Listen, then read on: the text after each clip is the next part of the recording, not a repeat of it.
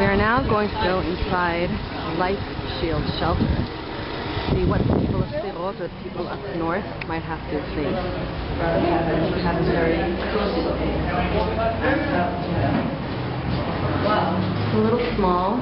We don't want to get cooped up here for too long. But maybe for 20 or 15 minutes, maybe. you know.